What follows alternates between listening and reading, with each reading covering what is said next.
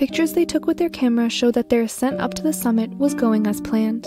Although, some say that these pictures have been photoshopped by a third party, or the two look anxious, but we'll get into that later.